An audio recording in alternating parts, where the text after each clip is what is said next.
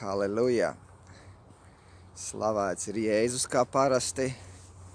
Nevienam citam mēs slavu un godu nedodam.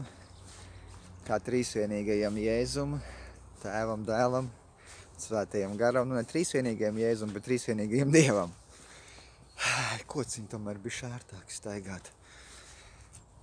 Vienkārši pavairošanās, pavairošanās brīnums vispārībā pavairošana un viss pārējais, tas baigi interesanti ir gribētu tādu labu liecību izstāstīt, kas bija noticis vakar. Vakar mēs braucām uz dievkalpojumu. Es, mans tētis un man divi mazie puikas. Mēs braucam tagad uz dievkalpojumu, piebraucam pie dievkalpojuma un opis, nu mans tētis, viņa opis, izkāpj ārā, un ņemiet. Viņš saka, iedošu jums katram pa piecītim. Nedod viņam katram pa piecītim. Principā mēs viņiem naudu tiem mazajiem nedodam, nu jo, nu, ko viņi to naudu, viņi tāpatās, nu, ko viņi darīs. Viņi zina, ka kaut ko var nopirkt, bet tās naudas vērtību viņi tāpat nesaprot. Un tāpēc viņi mums saka, lai mēs veikalā viņiem kaut ko nopērkam, nu, tādā veidā.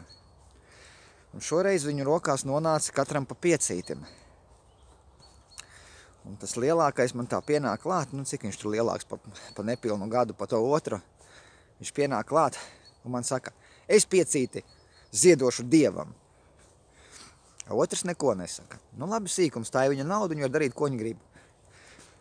Un tagad dievkalpojuma laikā notiek dievkalpojums slavēšana. Tur slavēšana beidzās un mācītājs, nu uzaicināja manu skatos, lai pa manīm aizlūgtu. Un tā kā viņš pa manīm aizlūdza, nu kā parasti nāca Dieva gars pār manīm, es tur nogāzos, bet tā īpaši neko nesajūtu. Domāju, ka vajag apsēsties tur patās uz skatuves, atbalstoties pret sienu un vienkārši tur pasēdēt tur patās. Tā negribējās nekur man iet projām. Vienkārši tāpat pasēdēt. Un es tur tā sēdēju, tur, kamēr gāja dievkalpojums, un tad mazie ieraudzīja, kad es tur arī augšā esmu. Viņi arī tur uznāca un sāka tur grozīties gar manīm. Un gala rezultātā mēs nonācām līdz kam? Līdz dievkalpojumam. Nu, līdz, ka jau mācītājs sludina, aleluja, slavu Dievam. Un pienākam pie tā, ka nu, pie ziedojumiem lēnāk garāk vajag jau tas gatavot ziedojums. Man maciņš bija lejā tur uz krēsla. Es jūtu tādu pamudinājumu, ka man galīgi, nu, negribās iet lejā, pakaļ tai naudiņai mainīt to, to, to vietu, atrašanās vietu mainīt.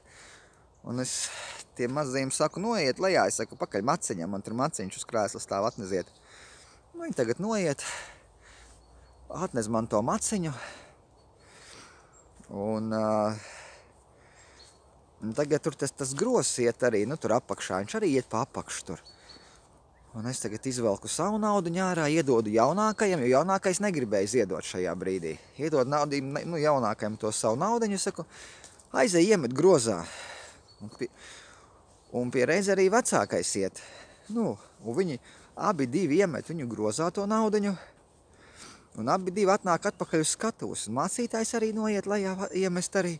Un kas ir interesanti, mācītājs šito situāciju vispār nezināja. Viņš neko nezināja ne par tiem piecīšiem, ne par vispār. Viņš redzēja, ka abiem diviem sīkajiem bija rokā nauda. Nu, tur uz skatuves, viņš to redzēja. Bet tad viņš pienāca klāt pie vecākā kurš noziedoja, un pateica pavairošanās. Saprotiet? A otram neko. Un es domāju, bāc, kā Dievs redz, iedomājieties, kā Dievs redz, kad viens iesēja, bet otrs neiesēja. Nē, es jau nesaku, ka kāds no viņiem ir sliktāks iesējot, ja ne, ne, neiesējot, jo ļoti bieži arī bijis ir otrādāk, ka mazais dara aktivitātes kaut kādas un lielais nedara.